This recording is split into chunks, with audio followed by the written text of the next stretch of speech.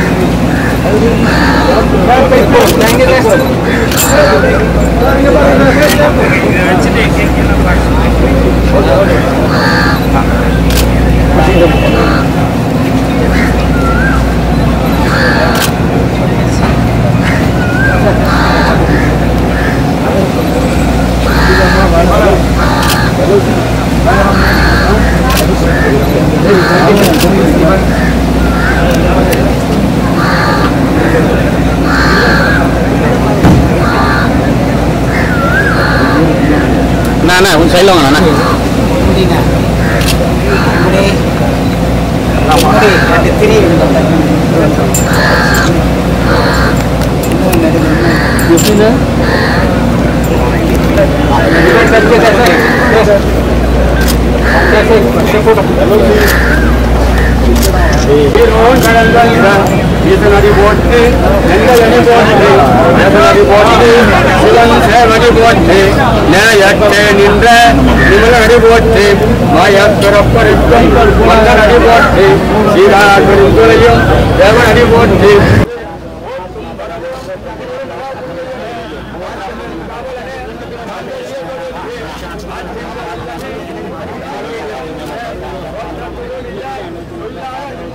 What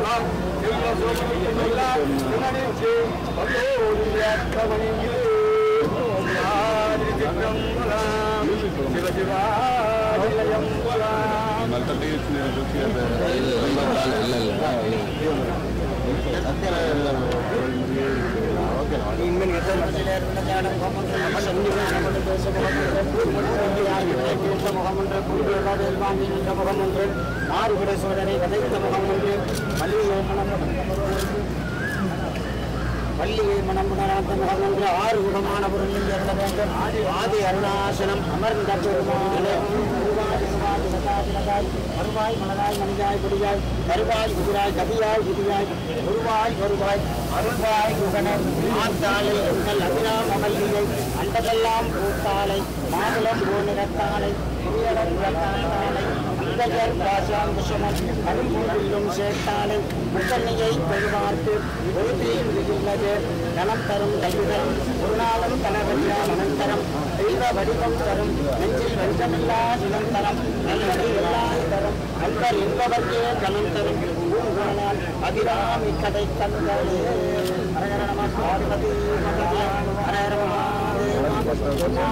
சிவனே போட்டு என்ன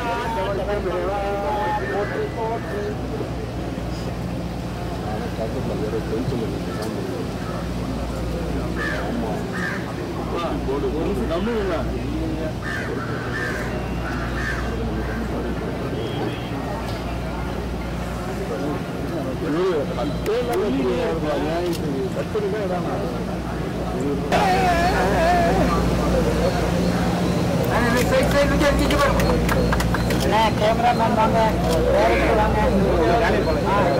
சார் வாங்க.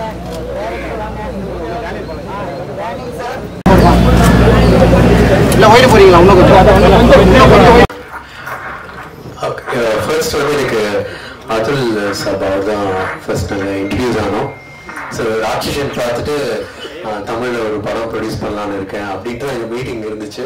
அண்ட் அதுக்கப்புறம் ஒரு ஸ்கிரிப்ட் ஒன்று ஓகே பண்ணியிருக்கேன். நீங்கள் கன்ஃபார்மாக கேளுங்க அப்படின்னு சொல்லிட்டு ஜேபி அனுப்பிச்சாரு. அண்ட் அவர் ஓகே நான் வந்து ஓகே ஒரு எப்படி இருக்கும் என்ன ஒரு ஐடியாவும் இல்லை. அவங்க குஜராத்லேருந்து வந்திருக்காங்க. ஒரு க கதை ஓகே பண்ணியிருக்காங்கங்கும் போது ஒரு ஒரு ஒரு டைலமால தான் நம்ம ஆக்சுவலி இந்த மீட்டிங் ஹேப்பன் மிஷ்கின் சாரோட அசிஸ்டன்டோடனே ஓகே ஒரு ஒரு கான்ஃபிடன்ஸ் இருந்துச்சு. பட் கதை சொல்ல சொல்ல இன்ஃபேக்ட் அந்த டைட்டில் வந்து ரொம்ப ஆப்ட் ஆக்சுவலி இதுக்கு முன்னாடி வேறு டைட்டில் வச்சுருந்தாரு. பட் இந்த டைட்டில் வந்து ரொம்ப ஆப்டான டைட்டில் ஃபர்ஸ்ட்லேருந்து ரெண்டு வரைக்கும் பயங்கர ஃபோர்ஸ்ஃபுல்லாக போகும். அண்ட் அதே கான்ஃபிடென்ஸில் இப்போ படமும் ஸ்டார்ட் பண்ணுறோம் அண்ட் முடிச்சுட்டா இன்னும் கான்ஃபிடென்ட்டாக நிறைய பேசலாம். ஸோ வி ஆர் வெயிட்டிங் உங்க சப்போர்ட் தேவை தேங்க்யூ எல்லோருக்கும் வணக்கம். Thanks to producers and director ஆக்சுவலாக என்ன சூஸ் பண்ணதுக்கு எப்படி சூஸ் பண்ணாங்கன்னே தெரில எனக்கு. Uh, அண்ட் அண்ணன் சொன்னார் நான் கதாநாயகன் தெரியல. ஆக்சுவலாக இது ஒரு ஃபீமேல் ஓரியன்ட் சப்ஜெக்ட் கதை கேட்ட உடனே நான் வந்து சரி இந்த கதையில் நடித்து எப்படி வந்து அந்த ஃபீமேல் ஓரியன்ட் வந்து மேல் ஓரியன்டாக மாற்றணுன்ற ஒரு சேலஞ்ச் இருந்தது. ஸோ அது பண்ணுறதுக்காக இந்த படம் கண்டிப்பாக பண்ணணும் அப்படின்னு சொல்லிட்டு ஒத்துக்கிட்டேன். All the best and thanks for direction team and camera team and no everybody நன்றிண்ணா அனைவருக்கும் காலை வணக்கம். முதல்ல இந்த படத்தை தயாரிக்கக்கூடிய வேற்று மாநிலத்தை சேர்ந்த தயாரிப்பாளர்களுக்கும் நன்றி. ஏன்னா வந்து தமிழ் சினிமாவில் தயாரிப்பாளர்கள் இந்த மாதிரி நிறைய பேர் வரணும். நிறைய இன்வெஸ்ட் பண்ணணும் இந்த மாதிரி புது புது இயக்குநர்களை தேர்ந்தெடுத்து ஊக்குவிக்கணும். இந்த கதை வந்து எனக்கு வந்து ஜேபி சார் சொன்னப்போ ரொம்ப ஆச்சரியமாக இருந்துச்சு. ஏன்னா நீங்கள் சொன்ன மாதிரி ஒன் எயிட்டி அந்த ஒரு ப்ரெஷர் தான். பிகினிங் டு எண்டு வரைக்குமே இருக்கும். நான் ஷூட்டிங்லாம் போகல அதனால் வந்து இந்த ரொம்ப எக்ஸிக்யூட்டிங்காக இருக்குது கண்டிப்பாக அந்த படம் வந்து ஒரு நல்ல ஒரு ஒரு பரபரப்பான ஒரு ஆக்ஷன் த்ரில்லர் நான் வரும்னு நினைக்கிறேன். இந்த படத்தில் வந்து டேனியல் பாலாஜி கதாநாயகன் நடிக்கிறாரு. கண்டிப்பாக ஒரு ஒரு முக்கியமான படமாக இருக்கும். அதே மாதிரி பாக்யராஜ் சார் ஒரு நல்ல கேரக்டர் பிரமாதமான கேரக்டர் ஒரு கார் ஃபாதர் கேரக்டர் மாதிரி நல்ல கேரக்டர் நானும் ஒரு சின்ன கேரக்டர் பண்ணுறேன் ஜிப்ரான் சார் சொன்ன மாதிரி மியூசிக் வந்து பயங்கர ஸ்கோர் உள்ள படம் அந்த படம். நான் அந்த கதை கேட்டால சொல்கிறேன் ராமலிங்கம் ஃபோட்டோகிராஃபி நைட்டு பிரச்சனை நிறையா இருக்குது கண்டிப்பாக அந்த படம் வந்து ஒரு நல்ல ஒரு தமிழ் சினிமாவில் வந்து ஒரு நல்ல ஒரு தரமான ஒரு நல்ல படமாக நினைக்கிறேன். இந்த படம் மாபெரும் வெற்றியடைய என வாழ்த்துக்கள். எல்லாருக்கும் வணக்கம். வந்ததுக்கு எல்லாத்துக்கும் நன்றி. And thank you all for coming so இது வந்து ஜேபி சாரோட direction and Athul India Movies ப்ரொடக்ஷனில் ஆரம்பிக்க போகிற படம். ரொம்ப புது role and it's a crime thriller ரொம்ப எக்ஸைட்டிங்காக இருக்குது ஆக்சுவலி ஷூட் போகிறதுக்கு and I am excited to work with Bhagyaraj sir and Daniel Balaji sir so thank you again கண்டிப்பாக உங்கள் சப்போர்ட் தேங்க்யூ வணக்கம் வணக்கம். ஸோ ஃபர்ஸ்ட் தெரு சார் தான் என்னை கூப்பிட்டாங்க ஆடிஷனுக்கு ஸோ கூப்பிட்டுட்டு நான் ஆடிஷன் பண்ணேன். ஜேபி சாருக்கு ரொம்ப ரொம்ப தேங்க்யூ சொல்ல விரும்புகிறேன் thank you sir for giving me this opportunity and I'm really excited to be a part of this film thank you so much sir எல்லாருக்கும் வணக்கம். மேடையில் அமர்ந்திருக்கும் திரு பாக்யராஜ் சார் அவர்களுக்கும் என்னோட டேனியல் பாலாஜி சார் அவர்களுக்கும் கொஞ்சம் நர்வஸாக இருக்குது ஏன்னா ஃபஸ்ட்டு ஸ்டேஜ் தானியா ரவிச்சந்திரன் அவர்களுக்கும் பேக்ரவுண்ட் ஸ்கோரில் கலக்கும் ஜிப்ரான் சார் அவர்களுக்கும் அருள்தாஸ் சார் அவர்களுக்கும் என்னோட மனைவி மாதிரி இந்த படத்தில் ஒர்க் பண்ண இருக்கும் ராமலிங்கம் அவர்களுக்கும் ஆர்ட் டைரக்டர் மோகன் அவர்களுக்கும் ஸ்டண்ட் மாஸ்டர் ராம்குமார் சார் அவர்களுக்கும் மீனா அவர்களுக்கும் ஹரி டான்ஸ் மாஸ்டர் அவர்களுக்கும். எல்லாருக்கும் இந்த மாலை பொ இந்த காலை பொழுதில் இந்த ரொம்ப டென்ஷனாக இருக்குது அதுதான். ஃபஸ்ட்டுமே ஸ்டேஜ் எல்லாருக்கும் நன்றி தெரிவித்துக் கொள்கிறேன். மற்றும் பிரசன்ன ஊடக நண்பர்களுக்கு நீங்கள் இல்லைன்னா நான் இங்கே நிற்க முடியாது. அதனால் உங்கள் சப்போர்ட் தான் எனக்கு வேணும். இங்கே எல்லோரும் வந்ததுக்கு ரொம்ப நன்றி. என்னென்னா இங்கே வந்து என்னோட குருவை பற்றி பேசணும். நான் மிஸ்கின் சாரோட மாணவன் நான். நான் ஒரு அவரோட படத்தில் அஞ்சாதேல மொட்டை கேரக்டர் நான் தான் பண்ணேன். முகமே காட்டாமல் அப்போத்துலேருந்து அவரோட ட்ராவல் பண்ணுறேன் ஒரு ஃபோர்டீன் இயர்ஸாக இந்த பிரசாத் லேபில் வந்து அங்கே தான் மூலையில் நிற்பேன் நான். இப்போ மேடையில் இருக்கேன். ஸோ இந்த பொறுப்பை உணர்ந்து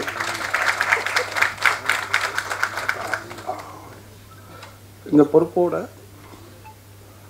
இந்த படைப்பு இருக்கும். அதான் பிபி ஒன் எயிட்டி எங்கள் மிஷ்கின் சாருக்கு தான் ரொம்ப நன்றி தெரிவிக்கணும். காலைல வாய்ஸ் நோட் போட்டாங்க. அவர் வரலன்றது எனக்கு ரொம்ப கஷ்டமாக இருக்குது ஆடியோ ஃபங்க்ஷனுக்கு வரேன்னு சொல்லியிருக்காங்க. நன்றி சார். வணக்கம் சார். மரியாதைக்குரிய அனைத்து பத்திரிகையாளர் நண்பர்கள் ஊடக நண்பர்கள் எல்லாத்துக்கும் என்னுடைய பணிவான வணக்கத்தை தெரிவிச்சுக்கிறேன். அதே மாதிரி இந்த விழாவில் கலந்துக்கு வந்து வாழ்த்து தெரிவிக்க வந்த நண்பர்கள் அவங்க எல்லாத்துக்கும் என்னுடைய பணிவான வணக்கத்தை தெரிவிச்சுக்கிறேன். வெளி மாநிலத்திலேருந்து வந்திருக்காரு முதல் தடவையாக படம் எடுக்கிறாரு அப்துல். அவருக்கும் முதல் முறையாக டைரக்ட் பண்ணுற நம்ம ஜேபி அவர்களுக்கும் அப்புறம் மொத்த டீம் இதில் நடிக்கிற ஆர்டிஸ்ட்டுக்கு எல்லாத்துக்கும் டெக்னீஷியன்ஸ் எல்லாத்துக்கும் அட்வான்ஸாக வாழ்த்துக்களை வந்து தெரிவிச்சுக்கிறேன். எப்போவுமே தமிழில் சுத்தமாக அழகாக பேசுவாங்க சுற்றி சுத்தமாக கவிதை இன்னைக்கு என்ன குட் மார்னிங்னு ஆரம்பித்தாங்க என்னன்னு தெரியல. இவருக்காக அதான் நானும் நினச்சிக்கிட்டேன். அவருக்கு புரிகிற மாதிரி பேசணுமேன்ட்டு.